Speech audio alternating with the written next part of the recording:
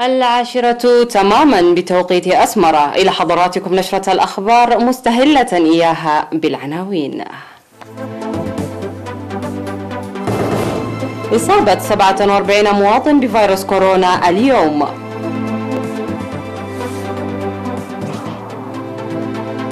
تطعيم المواشي في مديرية قرورة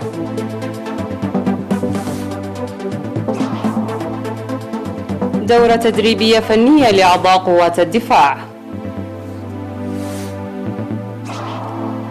وفاة 15 شخص في تكدس على حدود جنوب أفريقيا وزيمبابوي. الصين تمدد إعفاء سلع أمريكية من الرسوم الجمركية الإضافية. والحكومة اليابانية تتبنى خطة لإنهاء الانبعاثات الكربونية. أهلا بكم إلى تفاصيل النشرة. إعلان وزارة الصحة. أعلنت وزارة الصحة عن الفحوصات المخبرية التي أجريت اليوم السابع والعشرين من ديسمبر في مراكز العزل وأقسام استقبال المرضى في الأقليم الأوسط. أظهرت إصابة 47 مواطن بفيروس كورونا. في غضون ذلك شفي 23 مواطن من فيروس كورونا بعد تلقيهم الرعاية الصحية في مستشفيات أسمرة وإقليم جنوب البحر الأحمر حيث كان 22 منهم في مستشفيات أسمرة وواحد في مستشفى إقليم جنوب البحر الأحمر. لتصل حالات الشفاء حتى الآن ل 623 ووفاة مريض كورونا واحد. وتلقى 415 مصاب كورونا الرعاية في المستشفيات. وقد بلغت الإصابات بفيروس كورونا في البلاد عامة 1093 39 إصابة حتى اليوم. وهذا العدد للإصابات بفيروس كورونا الذي تجاوز الألف يدعو للقلق بالنظر للعدد المتزايد ببطء في الأشهر التسعة الماضية ويجب لوقف الانتشار العمل بجد لتنفيذ التعليمات الحكومية الصادرة. وزارة الصحة السابع والعشرين من ديسمبر 2020 قال مسؤول مكتب الزراعة في مديرية قرورة سيد آدم صالح إن تطعيم المواشي التي تقوم بها وزارة الزراعة بالتعاون مع الشركاء ساهم لخفض الأمراض الحيوانية.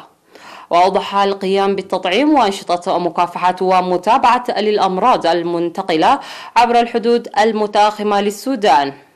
وأشار إلى توفير الماء الراعي والمياه عن قرب للمواشي ساعد لتكاثرها والحفاظ على صحتها. وذكر تنظيم حملة تطعيم في شهر فبراير 2021 لمكافحة الأمراض الشتوية داعيا. أصحاب المواشي لتطعيم مواشيهم وإبلاغ الجهات المعنية في حال ظهور الأمراض. وأفاد مراسل إيرنا أن المزارعين يعملون بنشاط لهطول أمطار شتوية جيدة.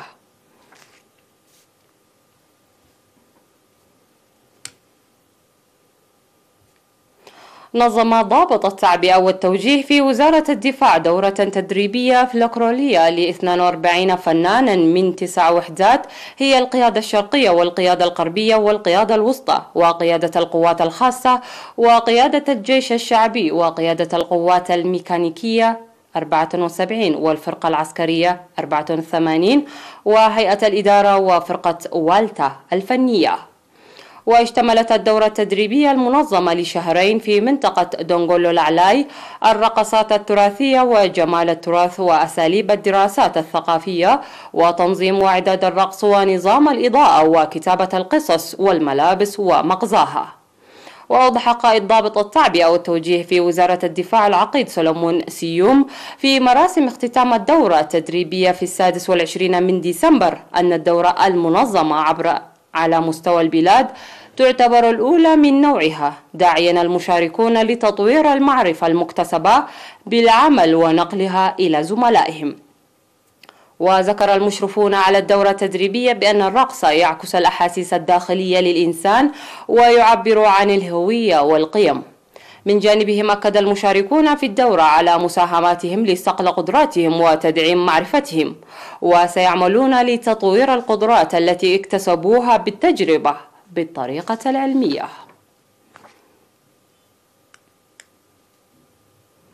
جرت اليوم السابع والعشرين من ديسمبر أنشطة إصحاح البيئة في مختلف مناطق أسمرة في إطار برامج مكافحة وباء فيروس كورونا. وقد نفذت أنشطة إصحاح البيئة التي نظمها أعضاء الشباب العمال في الأقليم الأوسط ومكتب وزارة الصحة في الأقليم الأوسط في أسواق ماركاتو وعداقة حراج والخضر والفاكهة. وقال مسؤول إصحاح البيئة في مكتب وزارة الصحة في أقليم الأقليم الأوسط السيد أبراهام بلاي إن البرنامج سيتواصل. وأكد المشاركون الطوعيون في البرنامج على أهميته وآنيته موضحين عن استعداداتهم لمواصلته مستقبلاً. أيها السادة المشاهدين هذه كانت أخبارنا المحلية. فاصل قصير من ثم نعود لمتابعة الأنباء على الصعيد العالمي. ابقوا معنا.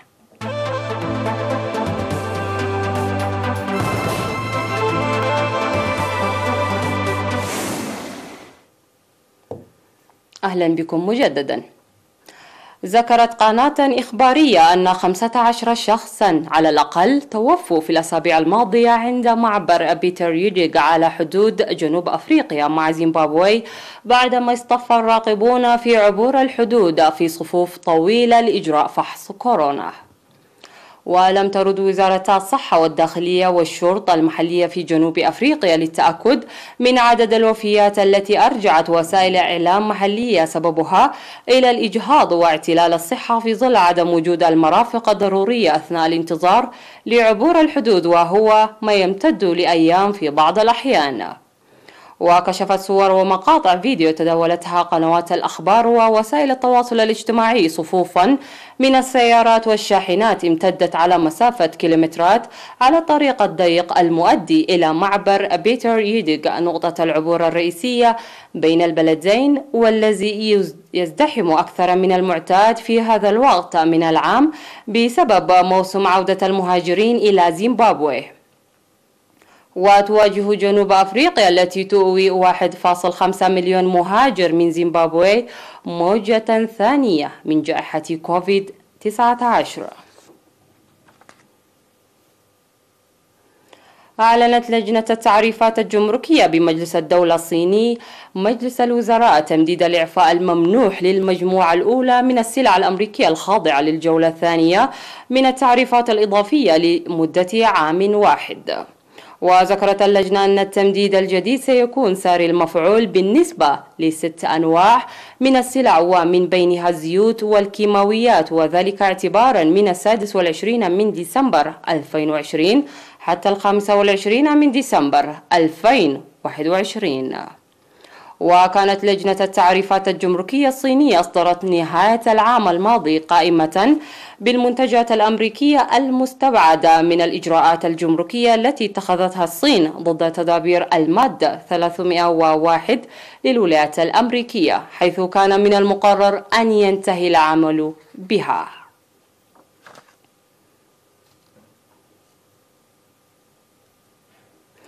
تعهدت الحكومة اليابانية بتبني خطة تتضمن تعزيز استخدام المركبات التي تعمل بالطاقة الكهربائية واستخدام طاقة الرياح الساحلية ضمن جهود أخرى لإنهاء الانبعاثات الكربونية تماما بحلول العام 2050 وذلك في إطار مكافحة التغير المناخي. وأفادت وكالة أنباء كيودو اليابانية بأن خطة العمل التي تحمل اسم استراتيجية النمو الأخضر تتضمن 14 عنصرا أساسيا من بينها الاعتماد على الهيدروجين كمصدر للطاقة وإعادة تدوير الكربون وزيادة دعم القطاع الخاص للمساعدة في تحقيق هدف الوصول بصافي انبعاثات ثاني أكسيد الكربون إلى الصفر.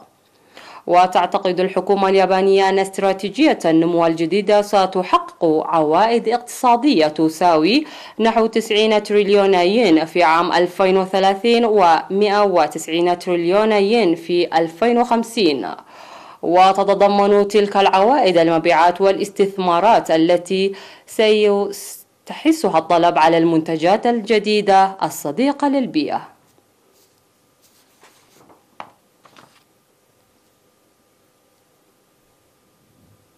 والخبر الأخير في هذه النشرة. أكد رجال الإنقاذ نفوق عشرة حيتان تقطعت بهم السبل على ساحل شرق يوركشاير بالمملكة المتحدة إذ لاحظ أفراد الجمهور لأول مرة بعض الحيتان على الشاطئ شرق يوركشاير. وتم استدعاء جمعية إنقاذ الغواصين البريطانيين للحياة البحرية مع خفر السواحل والشرطة بعد أن تم رصدهم وفقا لصحيفة ديلي ميل البريطانية. لكن متحدثة باسم الجمعية قالت إنه تم التحقيق من التقرير عن وجود المزيد من الحيتان على بعد أميال قليلة جنوبا في سابرين بوينت ولكن لم يتم العثور على شيء. وقال أحد قواصين الإنقاذ إن بحر الشمال بيئة صعبة لحيتان العنبر لأن المياه الضحلة بها القليل من حبار المياه العميقة التي تتقزع عليها عادة ونادرا. ما نجت من النجوح على الشاطئ بسبب حجمها.